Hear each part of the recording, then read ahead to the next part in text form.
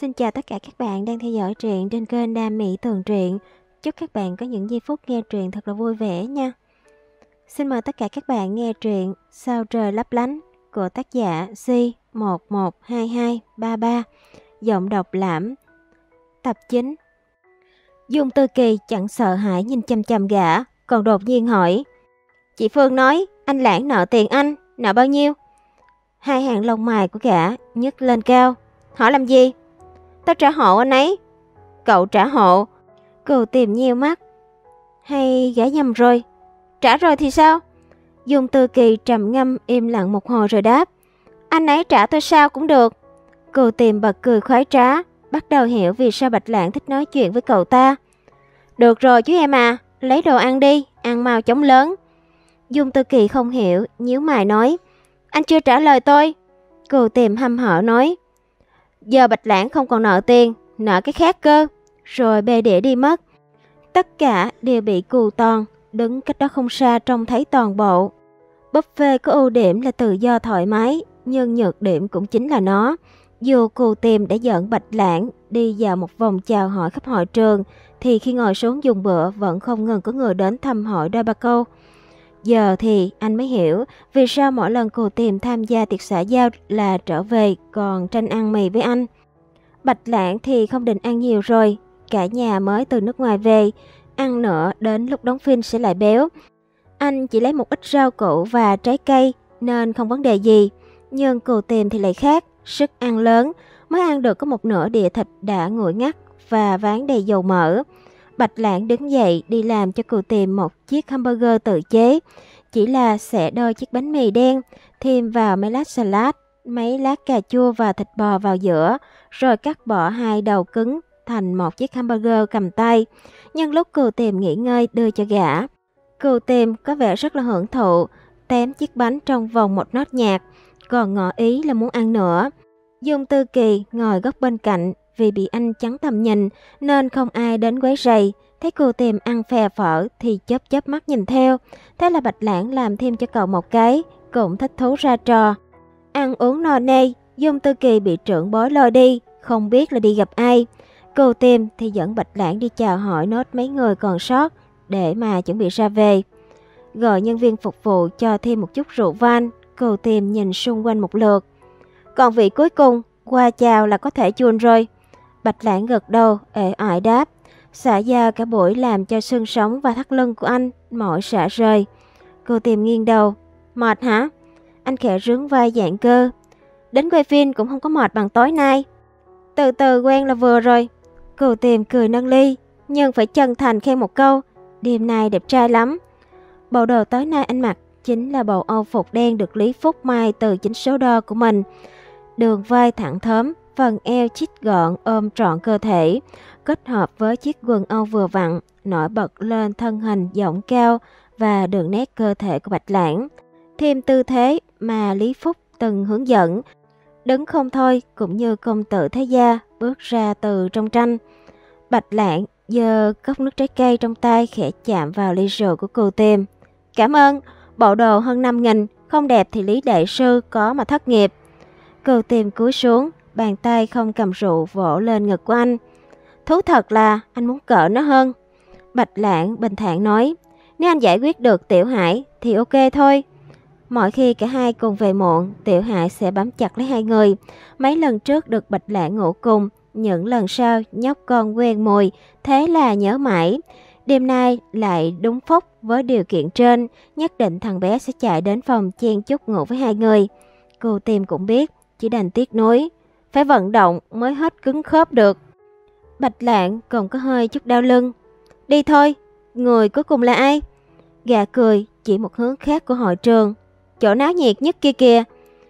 Chính là cừ toàn và ông lão ngồi xe lăn mà hắn đứng cạnh suốt hành trình. Lâu rồi không gặp, hồng lão tiên sinh ngày càng khỏe khoắn, thật khiến cho người khác ngưỡng mộ nha. Cừu tìm đợi đám khách khứa vây quanh hồng ngụ nói vạn chuyện mới cất tiếng chào hỏi. Ai nấy nghe thấy đều thoáng dịch ra tạo không gian trước mặt cho cô tìm để Hồng Ngụ ngồi xe lăn có thể trông thấy.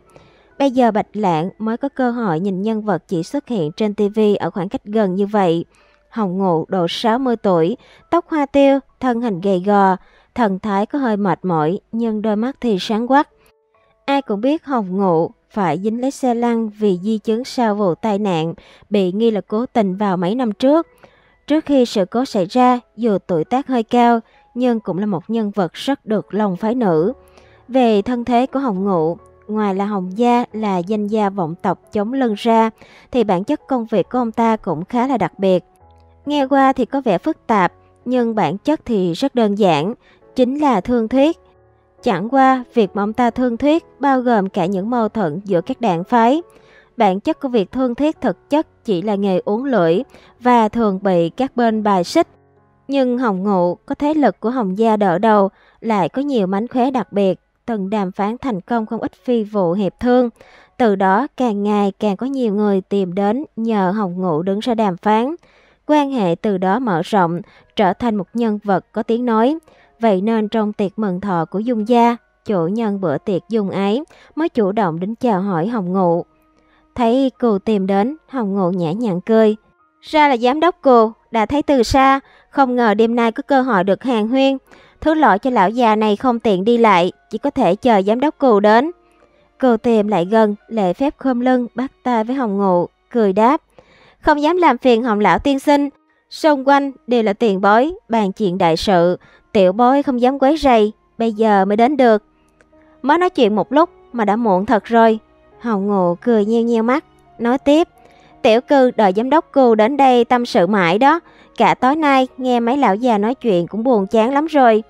Cư toàn luôn đứng phía sau. Tay nắm tay cầm của xe lăn, nghe vậy khi khom người, tỏ ra ngoan ngoãn khác hẳn với dáng vẻ hay thể hiện bên ngoài. Tiên sinh hiểu nhầm, cự toàn đâu có. Hồng ngụ vẫn cười, ngoái lại nói. Lão còn lạ gì nữa, tối nay im hơn hẳn bình thường, lão thấy còn chẳng nở nữa là Giờ giám đốc cô là ông chủ chính thức của em rồi, có nhiều việc cần trao đổi, không phải để ý đến lão. Lời lẽ tuy ôn hòa, nhưng lại mập mờ để lộ thông tin gì đó. Cô tìm tiếp lời. Cự tiên sinh có thể đến công ty cũng là nhờ Hồng Lão tiên sinh hỗ trợ. Về mặt công việc, công ty được trợ giúp hết sức cho cự tiên sinh, bảo đảm không để ngài phải thất vọng. Vậy thì tốt. Hồng Ngộ cười càng sâu, lại tinh quái vặn hỏi. Như giám đốc cù nói, chẳng lẽ ngoài công việc thì không giúp gì nữa ư? cừu tìm cười, thản nhiên nói, Hồng lão tiên sinh lại thừa biết, tôi với cừ tiên sinh là đồng hương, quan tâm giúp đỡ nhau là lẽ thường tình. Hồng ngộ, tươi cười gật đầu, trông khá vui vẻ, nhưng đôi mắt lại hấp háy gì đó. Sau đó ông ta nhìn sang Bạch Lạng đứng phía sau cừu tìm, hỏi, đứng bên cạnh giám đốc cừu là, trông lạ quá, giám đốc cô có thể giới thiệu không? Cờ tìm lùi một bước nhỏ, tay trái vòng hờ ra sau lưng Bạch Lãng. Đây là Bạch Lãng, cũng là nghệ sĩ trong công ty. Đêm nay có cơ hội nên dẫn đến mở mang tầm mắt. Đối diện với ánh mắt của Hồng Ngộ, đó không phải là đôi mắt thân thiện gì, anh chỉ khẽ gật đầu. Hậu bói Bạch Lãng, kính chào Hồng Tiên Sinh. Hồng Ngộ mỉm cười, dời đi và bùi ngồi. Cù Tiên Sinh quả là danh nhân thành đạt, tìm được toàn là người tài năng xuất chúng. Có được đôi mắt tinh chuẩn xác như thế này, mà ngài chỉ coi đây là nghề tay trái thì quả là đáng tiếc. Năm nay bao nhiêu rồi? Câu cuối cùng lại quay ra hỏi Bạch Lãng. Anh thoáng ngẩn ra rồi đáp.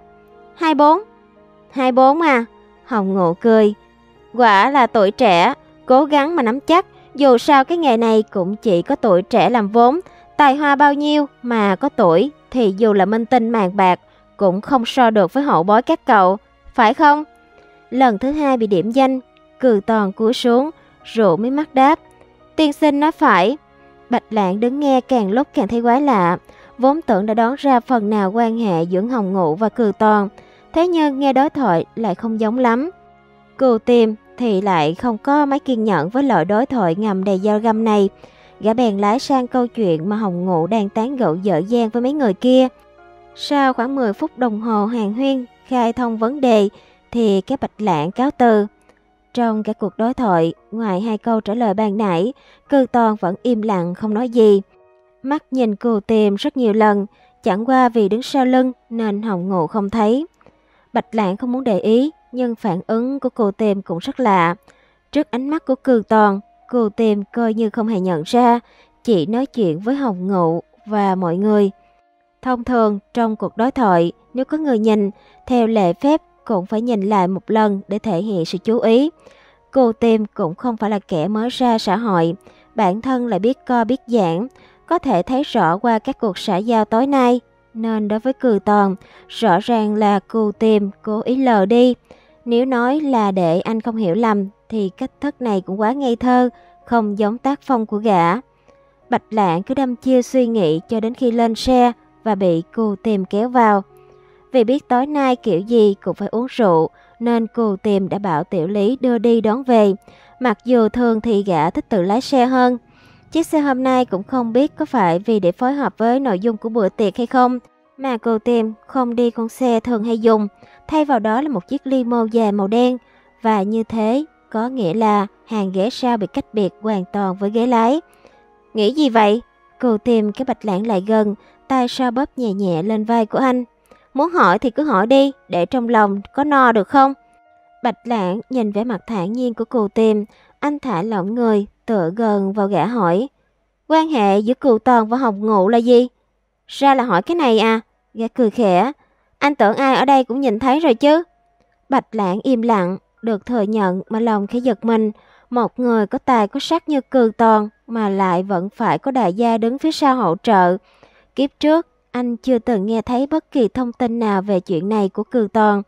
Nhưng nếu là thế lực kia của Hồng Ngụ thì cũng có thể lắm. Chẳng qua... Nhưng thái độ của Hồng Ngụ không giống lắm. Tới đây cô tìm đột nhiên kéo cổ anh ra sau, cúi đầu hôn một cái hỏi.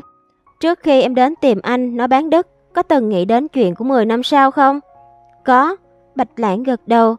Đổi thành cừu tìm ngạc nhiên. Nói xem nào. Anh có người mới, em thành công rút lui. Gã nhiều nhiều mắt. Em tin anh quá hả? Môn thống kê mà, em chưa được học, nhưng cũng biết đại khái. Gã cắn môi anh thay cho lời trừng phạt. Thế lỡ như anh bị em mê hoặc, say đắm không muốn buông tay, thì em sẽ làm gì? Giờ không phải đã thế rồi sao? Bạch lãng đuối hơi trả lời. Cô tìm sững ra, sau đó phát lên cười khoái trá, nhấc bổng anh lên đùi của gã, thích thú vuốt ve. Anh nghĩ rồi, nếu về nhà mà có Tiểu Hải, thì chúng ta có thể tạm thời giải quyết vấn đề cơ thể của em trước. Thế nào? Bạch lãng cứng người, khẽ liếc lên đầu xe, xác nhận cửa sổ con giữa ghế lái và hàng ghế sau đã được đóng kín. Anh sẽ lắp miệng em, để tiểu lý không nghe thấy đâu. Gã tích cực cắn mút cổ của anh, khàn giọng dụ dỗ. Nhưng rung động thì làm sao giấu được. Tiểu lý lại gặp suốt ngày. Bạch lãng nhất quyết lắc đầu. Sau đó đột nhiên cảm nhận được thứ gì đó, thở dài mặt cả. Thật ra, trước khi ngủ với Tiểu Hải, chúng ta phải tắm. Mắt của cô tìm sáng lên. Đúng là tụi mình chưa thử phòng tắm. Nên anh có thể rút tay ra khỏi quần của em được hay không? Bạch lạng bất đắc dĩ nói. Gã cười hỉ hận, nghe lời rút tay ra, nhưng vẫn ôm chặt của anh để anh dựa vào người mình, quay về chủ đề cũ. Hồng Ngộ và Cư Toàn có giao ước 12 năm, giờ đã đến hạn, đáng lý Cư Toàn có thể được tự do, nhưng Hồng Ngộ thì không muốn. Bạch Lãng trầm ngâm rồi hỏi, nên Cư Toàn muốn tìm đường lui? Chắc vậy. Đường lui là anh. Nếu tự do với cậu ta quan trọng hơn danh tiếng, thì anh có thể xử lý được. Thế nhưng, dường như kiếp trước Cư Toàn đã không lựa chọn tự do, bởi danh tiếng của anh ta không hề lay chuyển, sự nghiệp thành công cả ở nước ngoài lẫn nội địa. Còn Cù Tìm, có lẽ cũng vì lý do nào đó mà mấy năm liền liên tục thay đổi tình nhân. Lần này Bạch Lãng im lặng hơi lâu. Lý do anh giúp anh ta là gì? Cô Tìm lại giữ chặt cổ của anh lần nữa, mắt nhìn đăm đăm anh, cười rất khẽ. Cuối cùng cũng chịu hỏi rồi hả? Bạch Lãng không trả lời, cũng không lạng tránh ánh mắt của cô tìm. Gã cười. Trước kia, khi anh tưởng anh và Cừ Toàn đã là một đôi, thì cậu ta đi theo Hồng Ngụ. Anh nhận ra gương mặt của gã đầy vẻ trào phúng. Anh không lên tiếng quấy rầy, đợi chờ gã nói tiếp. Khi đó, anh chỉ là thằng chạy thuyền quen, kiếm được một ít tiền, lại phải phiêu bạc ngày đêm. Cự toàn thì muốn thành công, không có thời gian chơi trò đợi chờ tình ái, nên cậu ta đi theo Hồng Ngụ. Khi đó cả hai đều đặt bánh mì lên trước tình yêu, giống nhau cả thôi, nên bây giờ thành bạn. Bạch lãng nhìn nét cười trên gương mặt của gã lại chẳng thấy thoải mái như trong suy nghĩ. Bởi vì biết chuyện của kiếp trước và những điều Á Kỳ nói, dường như mọi chuyện cũng dần dần sáng tỏ. Dù sao ai cũng cho rằng bản thân sẽ lý trí trước bất cứ chuyện gì. Nhưng một khi gặp phải rồi thì lại là một chuyện hoàn toàn khác. Như chính bản thân anh, trước khi bị những lời nói của Á Kỳ ảnh hưởng, anh cũng cho rằng mình sẽ không để bất cứ chuyện gì của cừu tìm làm lung lạc. Nhưng đến khi gặp phải rồi, bảo rằng thâm tâm không khúc mắt, chỉ có thể lừa được người khác, nào lừa được bản thân mình. Nên có thể lúc này cừu tìm nó rất thoải mái, nhưng qua việc thay đổi tình nhân như thay áo trong kiếp trước kia, anh coi đó là một cách để trả thù ấu trĩ. Có lẽ, trước sự phản bội của cư toàn, lý trí và con tim của gã đấu tranh gay gắt. Nhưng lẽ nào mọi việc sẽ lại giống như kiếp trước ư? Kiếp trước anh không biết Dung Tư Kỳ chưa từng ôm cù Tiểu Hải, cũng không bao giờ nằm gọn trong vòng tay của cù tìm. Đời này, dù cù tìm có thế nào, thì bản thân cũng đã động tâm. Anh không cần đời đời kiếp kiếp, chỉ thiết tha một khoảng thời gian bên nhau và không cần sự dối trá như khen kiện. Anh rủ mi mắt, hỏi một câu thật khẽ. Chỉ là bạn. cù tìm cười run người, dịu cợt lặp lại. Chỉ là bạn. Bạch lãng không cười, chỉ gật đầu. Em không muốn sang sẻ. Anh cũng vậy, mắt gã lập lè. Hãy nhớ em từng nói, nếu anh tìm người.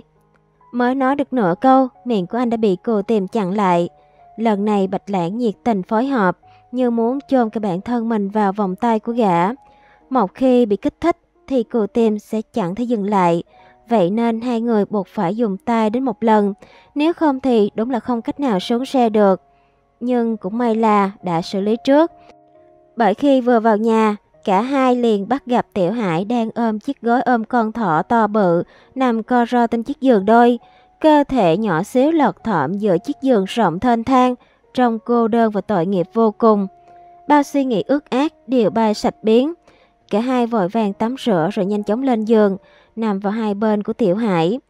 Nhóc con như cảm giác được mà cả mặt nhíu tích lại, sau đó ôm thỏ trắng, lăn sang bên bạch lãng. Anh điều chỉnh lại tay chân để cho nó nằm thoải mái, rồi ịnh một nụ hôn lên trán của nhóc con. Đầu vừa ngẩng lên, đến lượt cừu tìm, ngện cổ sang hôn anh. Nói tiếp lời chưa nói ở trên xe. Thật chất, em không cần phải lo đâu, vì em đã bỏ bùa hai bố con anh rồi. Hai tuần sau, trailer đầu tiên của bộ phim Kim Ngọc Kỳ Ngoại chính thức được công bố trên trang chủ. Lý Xuyên Kình được quay đặc tả trong trailer, mặc trang phục của một nhà thiết kế, thước dây treo trên cổ, mắt hơi nhìn xuống, nụ cười nhàn nhạt trên môi. Ánh sáng chiếu lên gương mặt hơi nghiêng tạo nên những mảng sáng tối đối lập, như những thăng trầm mãnh liệt ẩn sau nét bình yên của nhân vật. Kết hợp với tà áo sơ mi trắng buông lơi trùm lên chiếc quần Âu vừa vặn bên dưới. Góc độ này làm đường cổ và sống lưng của anh có được độ cong mê hoặc. Giữa nét nhã nhặn lại hé lộ sự gợi cảm, mang lại một cảm giác lôi cuốn kỳ lạ. Là một người theo đuổi hiệu quả thị giác, Chu Khoan tài tình tạo nên những mảnh tương phản tinh vi. Nó cũng trở thành phong cách cá nhân rất riêng biệt của ông trong 10 năm tới. Đương nhiên, hình tượng bạch lãng dưới máy quay của ông cũng khác hẳn trước kia. Ngay khi được công bố, trailer tạo nên một đợt sóng bình luận nóng bỏng. Đại đa số fan đều bị chó ngợp cộng có một số ít lấy làm tiếc nuối vì đã đánh mất nét tươi trẻ vốn có của Bạch Lãng. May mắn là người thích vẫn chiếm số đông và Bạch Lãng không khỏi đón. Có lẽ đó là nhờ phần công hiệu thay đổi ấn tượng từ quảng cáo của Uni. Nếu không, sau khi đóng bộ phim chung một mái nhà trong kiếp trước, quá trình chuyển đổi hình tượng nhân vật của anh gặp phải rất nhiều trắc trở. Nhưng anh quên mất một điều, sau khi sống lại, dù trong cơ thể trẻ trung, nhưng ngay trong hành vi và cử chỉ anh bộc lộ đã không còn là sự ngây ngô của cái tuổi 24 nữa. Dù là chụp ảnh hay đi sự kiện, thì ấn tượng anh để lại trong mắt của mọi người vẫn là một bạch lãng ôn hòa và chính chắn. Có lẽ chính Phương Hoa cũng bị ảnh hưởng mà khi tổ chức fan club hay quảng bá cũng đều đánh vào khí chất ôn hòa nho nhã và trưởng thành sẵn có này của anh. Điều đó mang lại tác dụng rất lớn trong việc cân bằng lại ấn tượng quá sâu mà anh để lại từ bộ phim chung một mái nhà. Tháng 3, Kim Ngọc Kỳ Ngoại đã quay được 2 phần 3 chặng đường, tốc độ khá là nhanh chóng. Việc thiếu hụt kinh phí quay phim mà anh luôn cẩn thận theo dõi cũng chưa thấy xuất hiện dấu hiệu. Ngược lại, một người không giấu được tâm sự như Chu Khoan còn tỏ ra phấn chấn lạ kỳ. Bạch Lãng cảnh giác, nhân một buổi nghỉ giải lao trưa, anh cẩn thận hỏi thăm. Dạo gần đây, hình như đại diện Chu rất hăng hái, có chuyện gì vui phải không? Hôm ấy Chu Khoan và Khuyết Kỳ Danh vây quanh Bạch Lãng tán gẫu về hộp cơm trưa thịnh soạn. Bạch Lãng giờ hỏi tự nhiên như trò chuyện thông thường. Lúc này Chu Khoan cũng rất thân với Bạch Lãng, tỉnh queo mà gấp liền ba miếng thịt cuốn măng, bỏ vào miệng nhai nhòm nhàm. Đúng là có chuyện vui, trước Tết tôi vẫn còn lo ngày lo đêm, không ngờ đang buồn ngủ có người đưa gối đầu. Tôi với lão Triệu tự dưng vớ được cái chuyện này, đúng là mừng hơn vớ được vàng. Lão Triệu trong miệng Chu Khoan chính là Triệu Kinh Tuyên, giám đốc công ty dệt đã mời Chu Khoan về nước quay phim. Bạch Lãng lập tức ngừng đũa, nhắc đến lão Triệu thì trăm phần trăm liên quan đến vấn đề tài chính của bộ phim. Không ngờ mới tiện mòm hỏi đã đụng trúng vấn đề. Chẳng lẽ đã có chuyện gì xảy ra thật? Khuyết kỳ danh nghe như vậy cũng tò mò, cười hỏi. Đạo diễn Chu, bật mí cho chúng ta vui với. Gương mặt tròn của Chu Khoan cười đến nỗi hai mắt dính lại vào nhau như sợ chỉ. Đắc ý nói. Giờ nói không sao, đằng nào mọi chuyện cũng đã chắc chắn rồi. Không sợ, cũng không lo ảnh hưởng đến tâm trạng của mọi người. Ảnh hưởng đến tâm trạng của mọi người. Bạch lãng giật thốt, hỏi tới tấp bất chấp sự nghi ngờ. Chẳng lẽ kinh phí của bộ phim có vấn đề gì ư? Quả nhiên, Chu Khoan tỏ ra rất ngạc nhiên. Cậu tin quá, vậy mà cũng đoán trúng phóc. Hay là cậu nghe được phong phanh tin tức gì rồi? Khuyết kỳ danh cũng lấy làm ngạc nhiên, vẻ mặt nghiêm túc hẳn đi. Nếu tình hình tài chính có vấn đề, đạo diễn Chu cũng nên nói càng kệ cho chúng tôi biết. Với bề dày kinh nghiệm của khuyết kỳ danh, ông biết điều lo lắng nhất với những bộ phim được đầu tư bởi chủ doanh nghiệp ngoài nghề chính là vấn đề duy trì kinh phí. Dù sao nếu chủ đầu tư không có dày dặn kinh nghiệm, đội ngũ quay phim cũng không biết điều tiết tốt, sẽ rất dễ xảy ra tình trạng bị bội chi, mà phần kinh phí bị thiếu này lại không thể không bổ sung vào. Nhưng tìm kiếm nhà đầu tư mới không phải là chuyện dễ, dù sao bộ phim cũng đã được quay một nửa, nội dung chi tiết đã được định hình, rất khó để điều chỉnh theo yêu cầu của nhà đầu tư mới nếu có. Nói chung, kêu gọi đầu tư là rất khó. Nếu không thể vay được tiền tiếp tục duy trì, thì bộ phim rất có khả năng rất cao là sẽ bị dừng ngay ngang sương. Vì được chu khoan tính toán chi ly nên tình hình vẫn khả quan. Nhưng dù sao đây cũng là lần đầu tiên ông về nước quay phim. Những vấn đề phát sinh liên quan như chi phí thuê hậu trường, trang thiết bị hay trang trí, hậu cần, mọi thứ đều là lần đầu tiên hợp tác.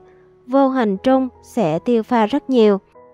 Chu Khoan cảm thấy cả hai đều tỏ ra nghiêm trọng thì ảo não không thôi. Vừa vỗ miệng của mình vừa nói. Bà vợ tôi có mắng tôi hay quịch tẹt, quả cấm có sai. Rồi ông trời người ra thi thào. Hai người đừng để lộ ra nha, Tuy chả có việc gì đâu, nhưng ảnh hưởng đến người khác thì không tốt. Bạch Lãng lập tức thề thốt. Đương nhiên không rồi, nhưng nếu tôi có thể giúp được gì, xin đạo diễn Chu cứ nói. Chu Khoan không cảm nhận được sự sốc ruột thật sự của anh, còn vỗ ngực bảo đảm. Cậu yên tâm, đây là bộ phim điện ảnh đầu tiên của cậu, cũng là đầu tiên của tôi. Cậu với Lão Khuyết còn hiểu rõ những yêu cầu tôi muốn nói mà không biết diễn tả thế nào. Đó đã là sự trợ giúp rất to lớn rồi. Bằng mọi giá, tôi nhất quyết cũng phải quay bộ phim này cho ra trò. Vậy tình hình mà đạo diễn Chu nhắc đến là... Bạch Lạng sốt ruột đến nỗi cướp cả lời của Chu Khoan. À, cái này thì phải nhắc đến nhà lão Triệu. Nhà lão ta có mấy cái xưởng để cho một người họ hàng quản lý. Tết vừa rồi cả nhà đoàn viên thì không thấy người đó về. Tìm cũng không thấy, sau Tết đến công ty mới phát hiện hắn đã cuộn sạch tiền hàng với tiền lương cho công nhân của nhà máy bỏ trốn. 4 năm triệu lận, chưa kể các khoản dự thu, lão ta lo sốt vó, người nhà lại không cho báo công an. Nhưng việc đã xảy ra, các nhà máy vẫn cần phải có vốn để xây vòng đầu tư, nên thực tế ý của người nhà lão là muốn cắt nguồn đầu tư bên chúng ta. Thế kết quả thế nào? Bạch Lãng vừa hỏi, vừa nhẩm tính xem, rốt cuộc anh có thể giúp đỡ được bao nhiêu. Bộ truyện được lên giá vào khoảng tháng 11 năm ngoái, đến giờ đã được hơn 4 tháng. Gần đây anh có lên diễn đàn nước ngoài tham khảo, quý đầu tiên đúng dịp nghỉ lễ Giáng sinh nên gần như bùng nổ số lượng tiêu thụ. Nếu giờ bán luôn bản quyền, tuy sẽ mất hẳn tổng doanh thu có thể lên đến mấy chục triệu mà bộ sách tích lũy được vào mấy năm tới. nhưng bản quyền đầy đủ mua mất 2 triệu mấy, giờ vẫn có thể bán được 3-4 triệu. Thế nhưng chẳng ngờ lại thấy Chu Khoan hời hợt đáp.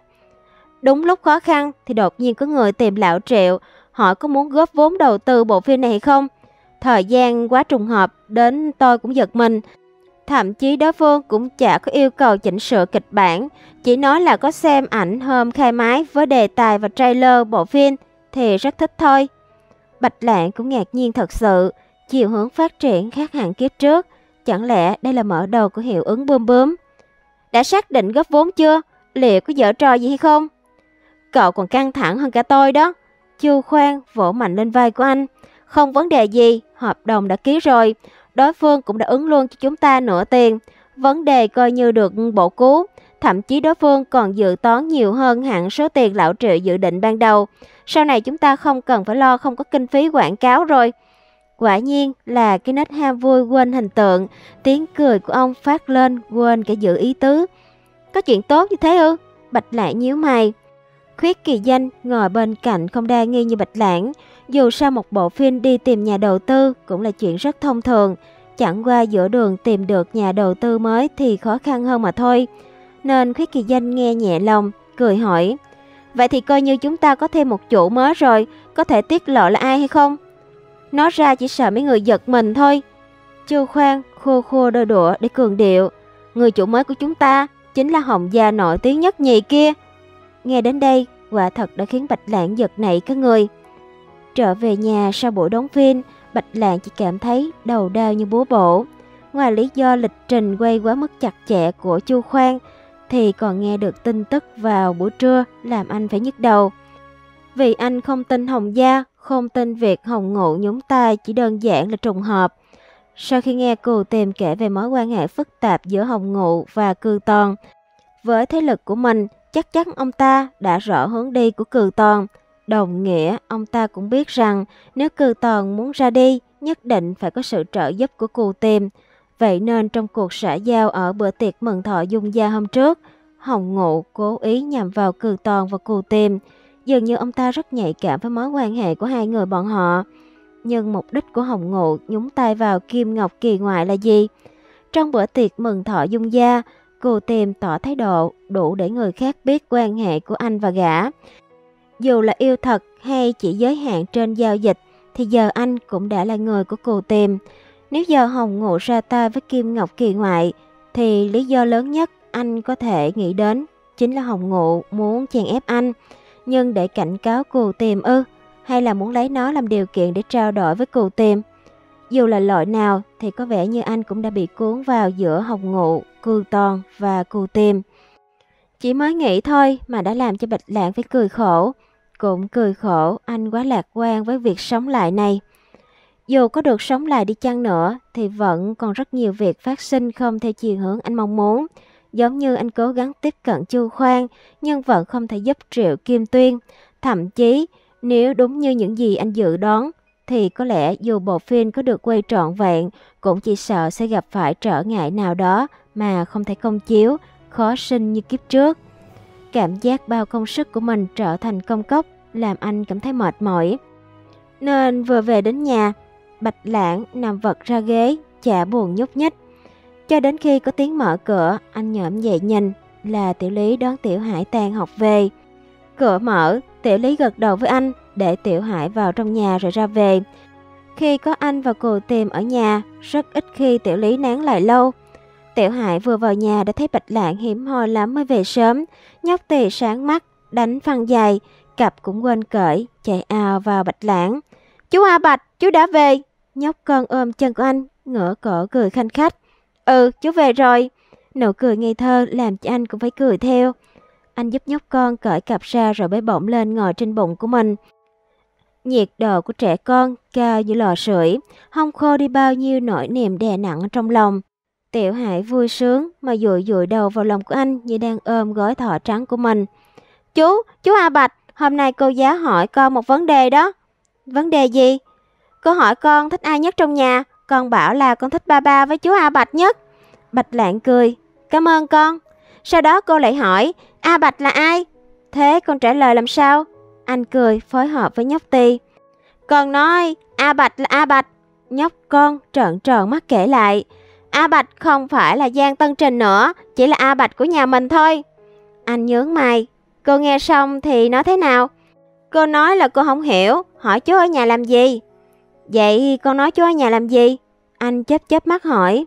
Chú nấu cơm nè, làm bánh bao thỏ rất ngon, còn ôm ôm hôn hôn con nữa, còn giúp con làm bài tập.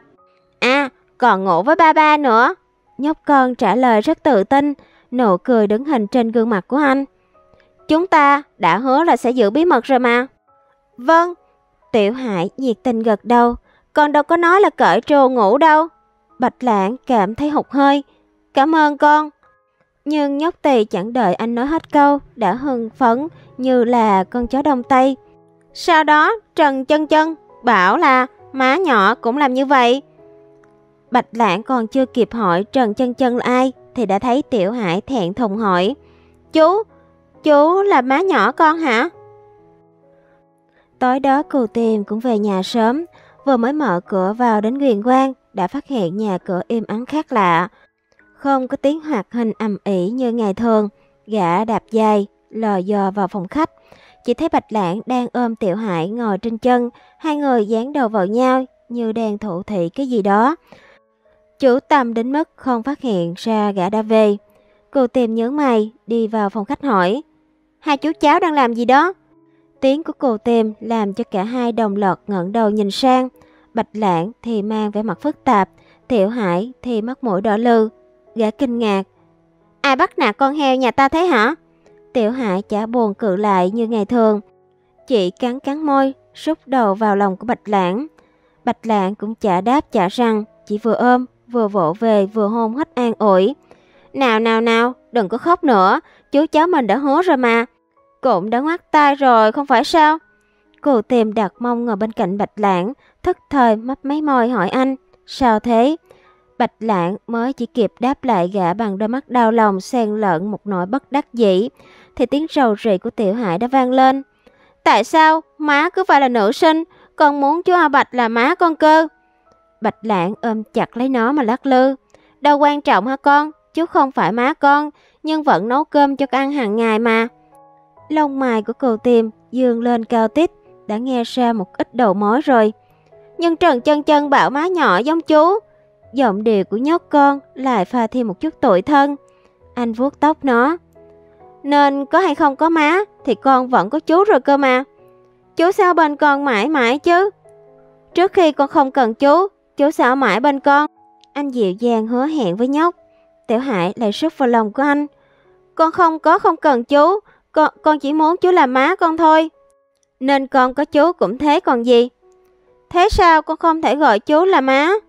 Bởi vì chú không phải là nữ sinh, má phải là nữ sinh. Bạch lạng vẫn rất bình tĩnh trả lời. Vẻ mặt kiên nhẫn như muốn vòng vo đến khi nào tiểu hại chịu thì thôi. Tại sao? Con đâu có thích nữ sinh. Tại sao má lại cứ phải là nữ sinh chứ? Nhóc tỳ lại bắt đầu cứng đầu vòng về vấn đề câu chuyện cũ. Nghe tới đây thì rốt cuộc cô tìm cũng vỡ lẽ. Không biết trước đó Bạch Lãng đã phải ứng biến với nhóc tỳ này bao lâu. Tiểu Hải cứng đầu không chịu nghe là Bạch Lãng. Đây là chuyện rất hiếm khi xảy ra. Lần trước, nhóc con quen thói ầm ĩ đòi ngủ chung, đã làm gã ganh tị quá trời. Nên bây giờ cũng chẳng mấy ngạc nhiên khi con mình ị ôi muốn Bạch Lãng làm má. Gã chả ngại xem thêm đâu. Nhưng nếu cứ thế này thì kiểu gì lát nữa Bạch Lãng cũng cho gã ăn cả rổ bơ cho mà xem. Thế nên cừu tìm ngồi bên cạnh đột nhiên lên tiếng. Ngốc, con không gọi thầm được à? Bạch Lãng quay phát ra nhìn gã. Tiểu Hải cũng ngẩng đầu lên, ngơ ngác hỏi. Nhưng gọi thầm thì chú đâu có nghe thấy được. Sao lại không nghe được? Con nghĩ, má, sao gọi một tiếng A Bạch thử đi. Gã hất càm bảo, nhấp ti tròn mắt, quay qua nhìn Bạch Lãng, thỏ thẻ. Chú, chú A Bạch. Rồi gã quay sang hỏi anh như thật. Sao, có nghe thấy không? Bạch Lãng cạn lời nhìn hai cha con. Chủ yếu là trước ánh mắt tha thiết mong mỏi của Tiểu Hải, làm anh phải đấu tranh tư tưởng mãi, cuối cùng cũng phải nhượng bộ. Nghe thấy, cái gương mặt của thằng nhỏ sáng bừng lên, thét đinh tay. Thật chứ ạ, à? chú A Bạch, A Bạch, A Bạch. Nhóc con vừa gào, vừa bổ nhào vào lòng của anh, dụi dụi đầu làm nũng. Bạch lãng vừa giữ thằng bé vừa quay sang nhìn cừu tìm với vẻ mặt không đồng ý.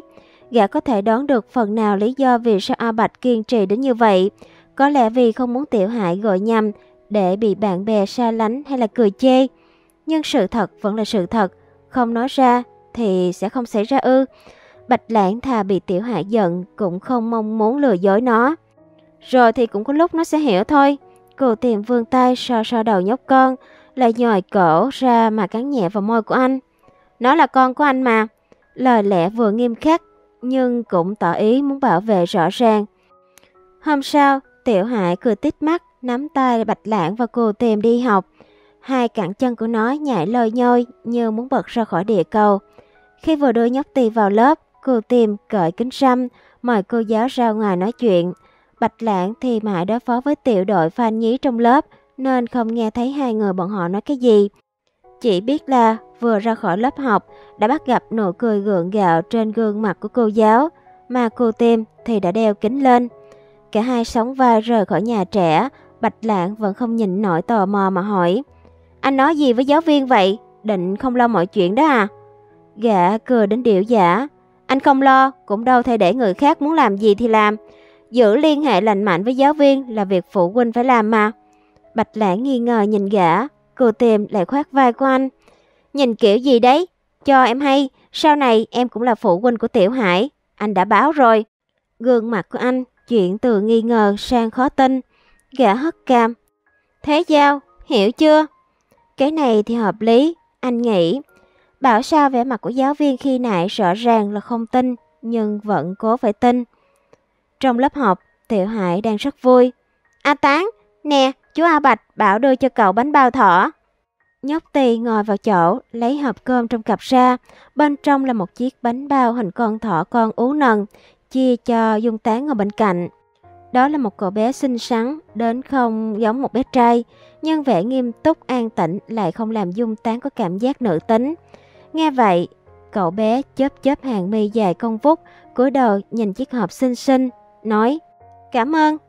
Tiểu Hải bí mật dí vào tay của Dung Tán, phấn khích thủ thỉ. Nói cho cậu biết nhé, bây giờ chú A Bạch là mẹ tớ đó, tớ có thể gọi chú ấy là má rồi. Tuyệt quá, thật tuyệt quá phải không? Dung Tán nhìn Tiểu Hải bằng đôi mắt tròn ve trong veo, gật đầu rất nghiêm túc. Ừ. Nhóc Tiểu Hải cười hở cái hàm răng sữa. Cậu vẫn là đúng nhất, Trần chân chân toàn là nói linh tinh. Chú A Bạch có thể là má của tớ mà. Dung Tán lại gật đầu, lệ phép lấy chiếc khăn trên ngực ra, lao tay rồi mới mở hộp, cầm chiếc bánh bao thỏ lên chia một nửa, đưa phần có đôi tay cho Tiểu Hải. Nè, nhóc tỳ tự nhiên nhận phần, cắn một bên tay, chả biết xấu hổ khi đã cho người ta rồi còn nhận về gì cả. Dung tán thấy Tiểu Hải cắn ăn rồi, cậu cũng nhã nhặn cắn vào mông của chú thỏ ú. Lúc này, một cô bé mặc váy hồng đi ngang qua bàn của hai đứa. Đứng lại và lắc lư chùm tóc ở trên đầu, chỉ vào Tiểu Hải và ngây ngô hỏi. Cô Tiểu Hải, sắp vào học rồi mà cậu còn ăn gì đó? Tiểu Hải phùng má chua mũi. Có sao đâu, tớ sắp ăn xong rồi. Cô nhóc đỏ mặt, lắp bắp. Sáng cậu chưa ăn gì à?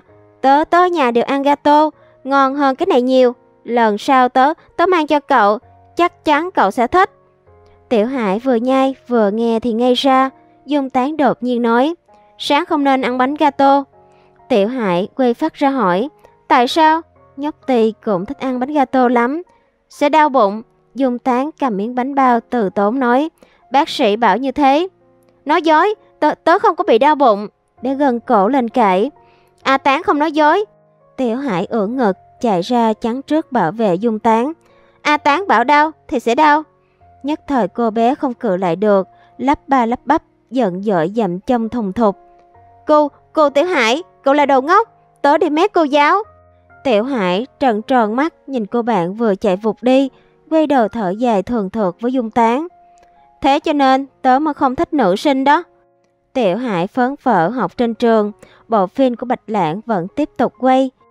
Liệu được Hồng Ngộ nhúng tay, Kim Ngọc Kỳ ngoại có thể thuận lợi công chiếu hay không? Bạch Lãng không nắm chắc, nhưng chỉ ít nhờ khoản đầu tư kịp thời lắp vào chỗ thiếu hụt tài chính mà đời này Triệu Kinh Tuyên có thể tập trung cứu nhà máy của mình, không khiến bộ phim vô tình liên lụy đến cả cơ ngơi của Triệu Gia nữa. Theo như Chu Khoan đề cập thì sau này tình hình của Triệu Gia vẫn khá khả quan, hoặc nhiều hoặc ít đã giúp anh thở phào nhẹ nhõm. Nhưng dù một phần vấn đề đã được giải quyết thì việc Hồng Ngộ tham gia vẫn làm anh lo lắng. Cảm giác bị người khác chèn ép uy hiếp thật chẳng thoải mái chút nào. Nếu tương lai trở thành hiện thực, anh không muốn lúc ấy mình chẳng có gì trong tay và chỉ biết trông chờ vào kẻ khác. Vậy nên ban đầu anh nghĩ kiếm đủ tiền rồi thì tốt. Nhưng giờ thì nghĩ lại, có ưu thế sống lại, anh quyết phải trù tính kiếm một phen ra trò. Đầu tiên chính là bản quyền bộ phim đã mua trọn lần trước. Nếu giờ chưa cần dùng ngay thì với số lượng tiêu thụ khổng lồ vào mấy năm tới, Bạch Lãng quyết định số tiền này có thể để dành cho bản thân.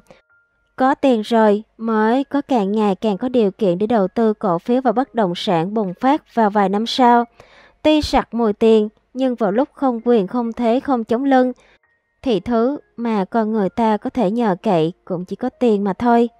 Vì thế, Bạch Lãng mua lại một nhà sản xuất kinh doanh yếu kém, chia một phần ba cổ phần cho cù tìm, người mà đã cho anh mượn vốn.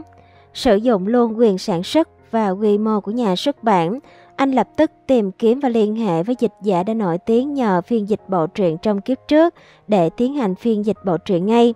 Cho đến khi việc cấp phép và in ấn tập đầu tiên được hoàn thành, thời gian cũng sớm hơn kiếp trước mấy tháng trời. Đúng lúc danh tiếng của bộ truyện đang lan từ nước ngoài đến trong nước. Vậy là không sai lệch một chút nào, bộ truyện đúng lúc xuất hiện bản online và bản giấy. Không để các nhà biên kịch dịch lậu kịp chia miếng bánh nào, bởi bộ truyện ra lò đúng thời điểm nên lượng bán ra cũng vượt hẳn kiếp trước. Chỉ nội doanh thu tập đầu tiên cũng đã lên đến 3,5 triệu, đủ để anh hồi toàn bộ vốn đầu tư ban đầu. Nhưng Bạch Lãng biết đây chỉ là khởi đầu, khi cả 6 tập được lần lượt hoàn thành, tổng doanh thu cả nước có thể vượt qua hơn con số mấy chục triệu. Vì càng để chiều lòng độc giả, Bạch Lãng không do dự, lấy luôn 1 phần 3 số 3,5 triệu thu được, thêm một công ty chuyên trang trí, đóng gói và tiêu thụ bộ truyện. Đã kích toàn bộ sách lậu trôi nổi trên thị trường. Từ đây về sau, việc anh phải làm chỉ là dùng tiền để đầu tư tiền mà thôi. Nhưng đây là chuyện xảy ra vào mấy tháng sau. Vào cuối tháng 3, khi bộ phim Kim Ngọc Kỳ Ngoại vừa được quay xong và bước vào giai đoạn hậu kỳ, Bạch Lãng còn đang lo liệu bộ phim có thuận lợi ra rạp hay không, thì phòng BA của công ty đã vội vàng sắp xếp một loạt các hoạt động tuyên truyền cho anh. Và tại hậu trường của một tiết mục, anh gặp lại người mà gần như anh đã quên mất. Khang Kiện Cách mấy tháng, lần thứ hai gặp lại Khang Kiện không còn khiến anh lộn ruột lộn gan như trước. Lần này chả có cảm giác gì, không thích cũng chẳng ghét, tựa như người trước mặt chỉ là người dân. Dù gì, anh cũng đang rất thỏa mãn, không bất ngờ khi bộ phim mà anh âm thầm gợi ý cho Khang Kiện đã bị vỡ lỡ chuyện sử dụng chất kích thích hàng đêm ngay trước Tết. Cả đoàn phim bị buộc phải tạm dừng, quá nửa thành viên phải lên công an phục vụ điều tra, trong đó có Ngô Thắng Ân bị tạm giữ 3 ngày, nghe nói là bởi có chất kích thích. Vì đề tài bộ phim là cảnh sát hình sự tương đối nhạy cảm nên chắc chắn sẽ chẳng có cửa được cấp phép đâu.